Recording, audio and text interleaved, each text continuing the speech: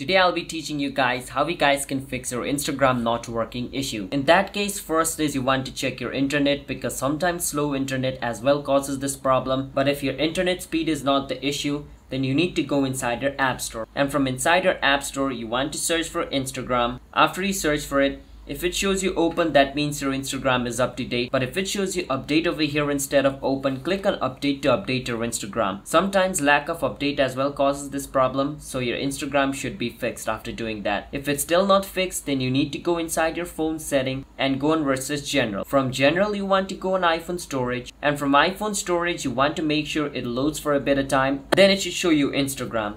So scroll a bit down until you see Instagram. Once you see it, click on Instagram click on offload app and click on offload app. Once you do that, your Instagram will offload and then you want to click on reinstall app and your Instagram will start to reinstall. And once its reinstallation is complete, open it and your problem should be fixed. If it's still not fixed, then you can delete Instagram app and reinstall it again. If you do that, your problem should be fixed. And even after doing that, if your problem is still not fixed, you need to check if Instagram servers are on or not.